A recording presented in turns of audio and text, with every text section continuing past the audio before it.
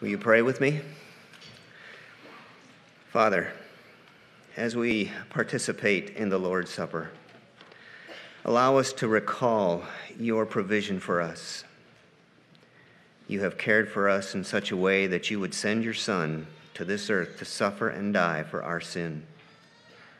You not only sent him to die for our sins, but you also made it so that he would intercede for us through the Holy Spirit so that we would be able to walk in your ways. And at the point of our death, we would be presented before you, holy and blameless. Help us now to put aside all distractions and focus on remembering Jesus. As in his name we pray. Amen. If you, uh, if you do not have a Bible, there are men up front that would uh, be happy to provide one for you. Just hold up your hand. Uh, if you do not own a Bible, please feel free to take this one with you. Communion is that part of our service during uh, which we are directed to remember Jesus. How do we know that we are instructed to do this? Paul writes in 1 Corinthians that the Lord Jesus, in the night in which he was betrayed, took bread and when he had given thanks, he broke it and said, This is my body, which is for you. Do this in remembrance of me. In the same way, he took the cup also after supper, saying, This cup is the new covenant in my blood.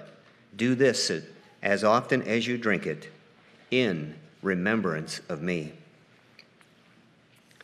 Jesus is very specific when he says, Do this in remembrance of me.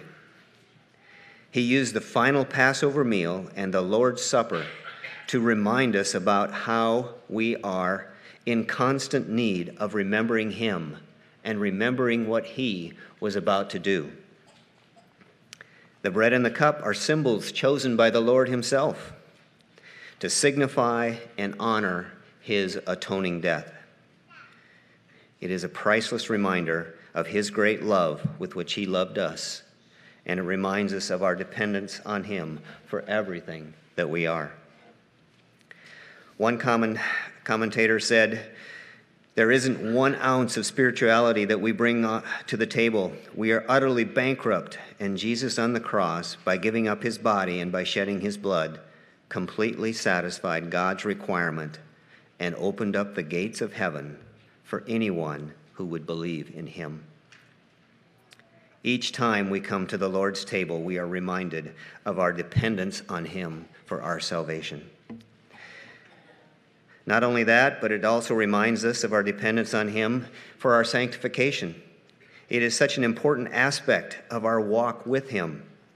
So every time we take the Lord's Supper, we are called to reflect on the benefits we have in Christ, not only for our justification but for the sanctifying work that He's doing in us.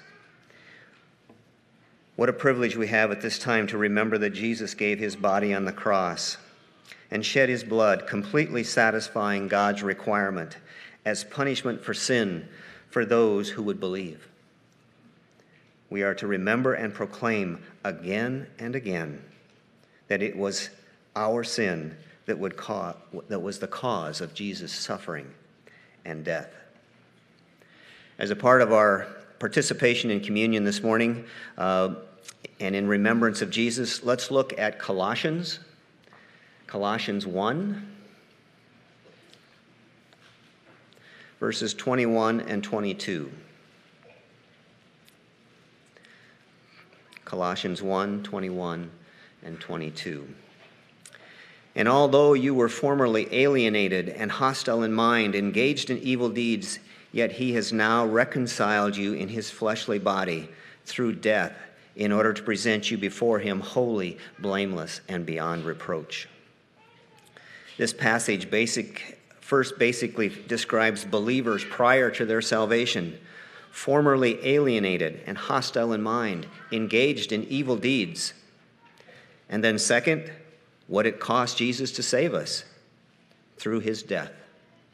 And thirdly, how will we look on Judgment Day? Homely, homely, holy, and blameless, and beyond reproach.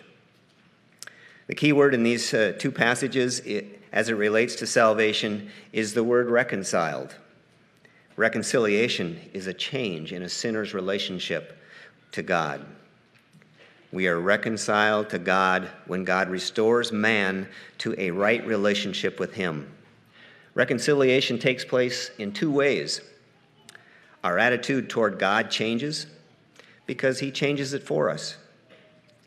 And secondly, God's attitude toward us changes because He no longer sees us as sinners, but He sees His Son. Paul in this passage is reminding the Colossians and us of what we were prior to reconciliation. Look at verse 21. They were formerly alienated and hostile in mind, engaged in evil deeds. The word alienated means to be cut off or separated. Prior to reconciliation with God through Christ, we were separated from God. Ephesians 2 12 and 13 says it this way Remember, that you were at that time separate from Christ, excluded from the commonwealth of Israel, and strangers to the covenant of promise, having no hope and without God in the world. But now, in Christ Jesus, you who formerly were far off have been brought near by the blood of Christ. All unbelievers suffer separation from God unless they are reconciled to God and reconciliation is provided only to those who are in Christ. Prior to salvation, we also were hostile in mind, which is the same thing as saying that we were hateful. Our attitude toward God was one of hatred. We resented his holy standards and his commandments, and we were engaged in evil deeds. As unbelievers, we had a willful love for our sin. John 3:19 and 20 says, "This is the judgment that the light has come into the world, and men loved the darkness rather than the light, for their deeds were evil. For everyone who does evil hates the light, and who does not come to the light for fear that his deeds will be exposed." Yet Paul tells us in Colossians 1:22, "He has now reconciled you in his fleshly body through death in order to present you before him holy and blameless and beyond reproach. If you are a believer, reconcili- reconciliation to God has already taken place. Your heart has been transformed from a hater of God to one who is eternally grateful for sending his son to the cross to die in your place. As a result of believing in Jesus' work on the cross, God now looks upon, looks upon us as being like Jesus, holy, blameless, and beyond reproach, set apart to God by his imputed righteousness. With this imputed righteousness of Jesus, who believes, which believers received at salvation, we are considered by God to be holy, as he is holy, because we are in Christ. To be blameless and beyond reproach means that no one can bring charge against us. We are blameless because Jesus covered every one of our transgressions, past, present, and future. The Lord's Supper is also a time to examine our devotion to Christ. Please use this time to examine your heart, confess your sin to God, consider going to those you have sinned against and seek their forgiveness and take steps towards repentance. So, how will you remember Jesus during communion? To remember, consider your testimony and the sin that enslaved you. Consider the joy and the peace that came to you when you realized that sin was no longer in control of your life. As believers, we celebrate the Lord's Supper. When we celebrate the Lord's Supper, we are in communion with the risen Christ, who indwells us, and He, through the Holy Spirit, is spiritually present with His people. If you're here today and have not realized the forgiveness of Christ, we are glad that you are with us. We want you to hear the peace and the joy that comes from knowing Jesus. I can assure you there is no greater privilege than to know that your sin is forgiven and is forgiven forever and ever, and to know that heaven will be your home when you die. However, if you choose not to repent and believe, the Lord's Supper is not for you. Please allow the bread and the juice just to pass you by. The men will now come in service. Please take communion on your own when you're ready. And I will close this time in prayer.